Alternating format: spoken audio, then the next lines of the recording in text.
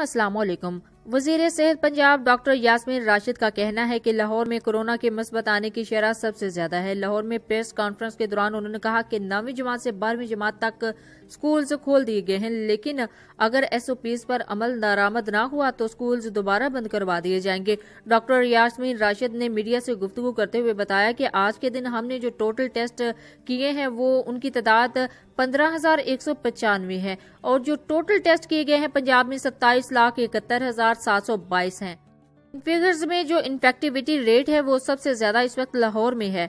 और बताया जा रहा है कि लाहौर के तलीमी अदारे तो खोल दिए गए हैं, लेकिन एसओपीज पर अमल दरामद न होने की वजह से कई मार्केटें और कई मॉल्स इस वक्त बंद करवाए जा रहे हैं। और यही हाल अब स्कूल्स का भी है। देखा जाएगा कि अगर स्कूल्स में भी एस ओ एसओपीज पर अमल दरामद न किया गया तो बहुत जल्द ये जो ओपन हुए स्कूल हैं, इनको भी बंद करवा दिया जाएगा।